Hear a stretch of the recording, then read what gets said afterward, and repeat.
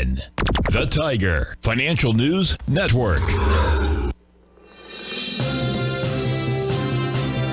TFNN. Headline News Update.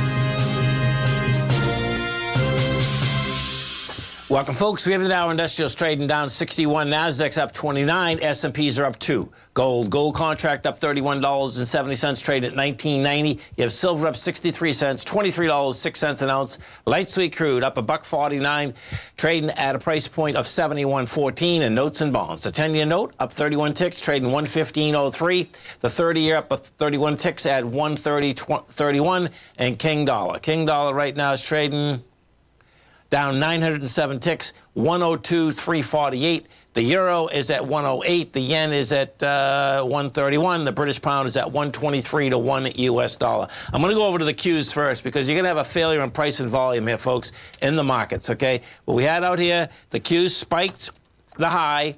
You're not going to have the volume behind it. The high that we were talking about is 313.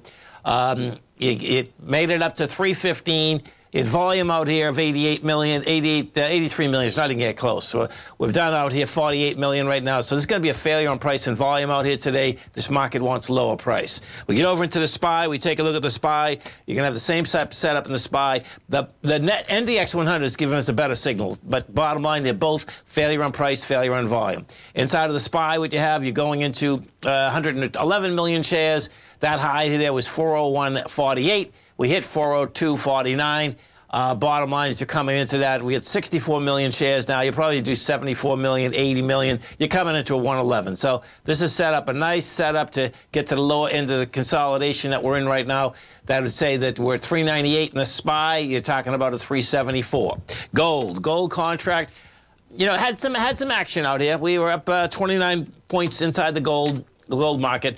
Uh, you had volume out here of 53,000 contracts. It's good volume.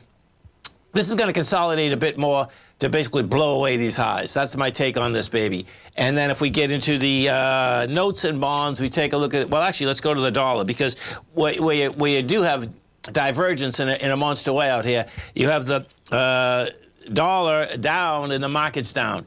Uh, what that sets up, folks, is that sets up real problems, man.